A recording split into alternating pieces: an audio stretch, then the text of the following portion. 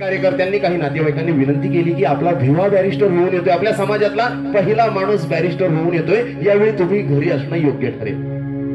बारामाने देखील ऐकलं. घरी आले घरातली परिस्थिती पाहिली वेगळीच होती. काही पैसे काढले.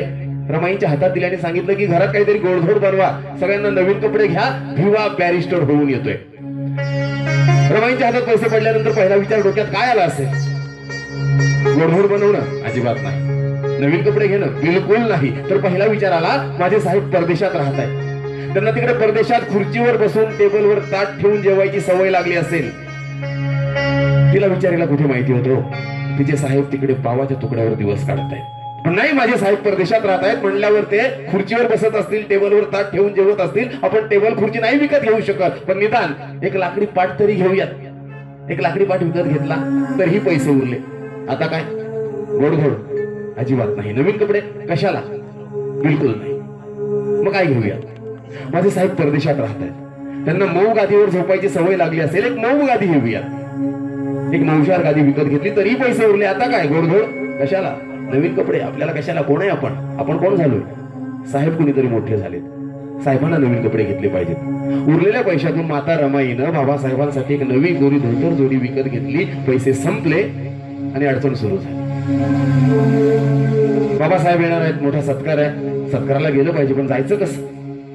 कारण त्या सत्काराला जाण्यासाठी माझ्या माता रमाईकडे थडस एक लुगडही नव्हतो.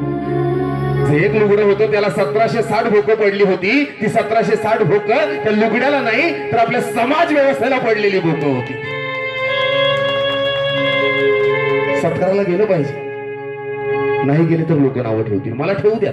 माझ्या साहेबांना कोणी नाव ठेवता कामा नाही मी जर सत्काराला नाही गेले तर लोक म्हणतील नवरा एवढा मोठा साहेब झालाय बायकोला कौतुकच नाही. आणि अशा अवस्थेत गेले तरी लोक नावं ठेवतील नवरा एवढा मोठा साहेब आणि बायकोच्या अंगावर फाटकल लुगड?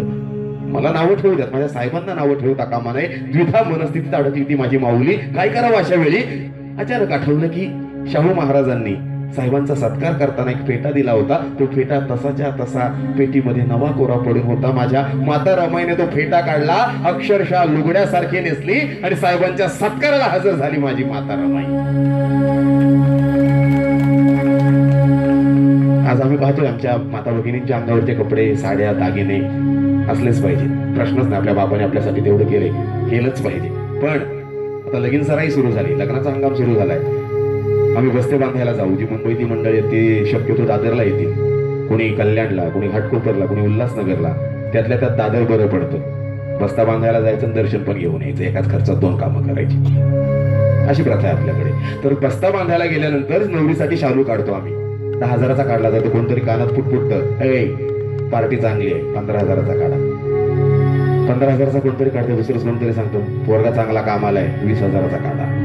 वीस हजाराचा काढतात. अरे मी तर म्हणतो वीस नाही पंचवीस हजाराचा शालू नेसा. नेसा खुशाल. पंचवीस हजाराचा शालू. म्हणतो पंचवीस हजाराचा शालू नेसताना एकदा तरी डोक्यात हा विचार येऊ द्या की त्या पंचवीस हजाराच्या शालू मागे माझ्या माता रमाईचा त्याग आहे म्हणून तो पंचवीस हजाराचा शालू तुमच्या अंगावर नेता नसता.